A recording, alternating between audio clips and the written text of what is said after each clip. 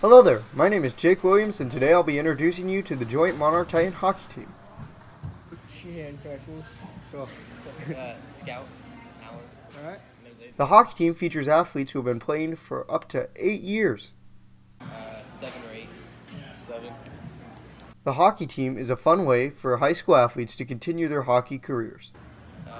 Just because it's fun, you get to like meet new people and play with them for like the rest of your high school career.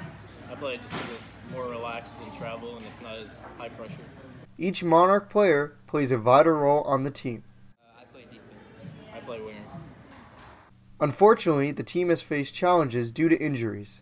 Scout has a concussion right now, so that's probably one. We're down a defensive member, so And just like kind of losing a lot in the games. Yeah. Sucks. yeah, it doesn't really help with the team morale. The team is hoping that tougher practices will help improve their work schedule and performance. A lot more. Our practices have been been very fulfilling. They've been pretty consistent, but we haven't been learning much from them. Even with their disappointing record, team members are still enjoying the game.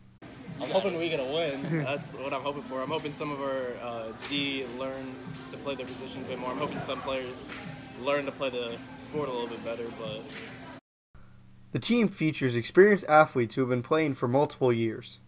Just fun. It's fast. You get to hit people.